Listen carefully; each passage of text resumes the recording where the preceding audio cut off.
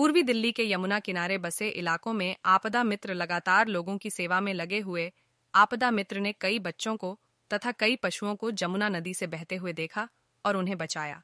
इसके अलावा वह कई प्रकार की सेवाएँ दे रहे हैं। सबसे बड़ी बात वह हालात पर नज़र बनाए रखते हैं और किसी को यमुना नदी के आसपास जाने नहीं देते। आपको बता दें, ये आपदा मित्र दिल्ली सरकार की योजना के तहत आते हैं। आपका क्या काम है यहाँ पर?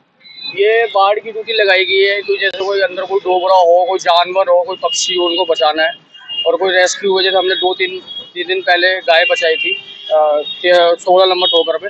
हमारा काम ये है कि जो बाढ़ में डूब रहा है उनको हमको बचाना है बस। कितने लोगों को आपने अभी तक रेस्क्यू किया है? अभी हमने परसों तीन दिन पहले हमने एक गाय बचाई थी बोट से। दूतावास आए थे और हम भी उनके साथ काम कर रहे थे और हमने एक गाय बचाई थी। कुत्ता निकाला था हमने। आज सुबह भी एक लड़का गिर गया था पानी में। एक मिनट मेरा नाम नैना है। जी कितने लोगों को आपने रेस्क्यू किया?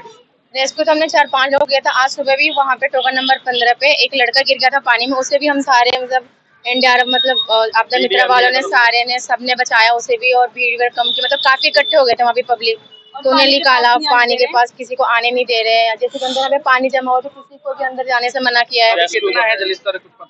अभी तो काफ़ी पहले से तो काफ़ी कम हुआ है सेवेंटी परसेंट कम हुआ। कम हुआ है। मतलब किसी को अनुमति नहीं जानी। नहीं अभी किसी की अनुमति नहीं जाने। जब तक ऑर्डर नहीं आता तब तक हम अनुमति नहीं थोड़ा सा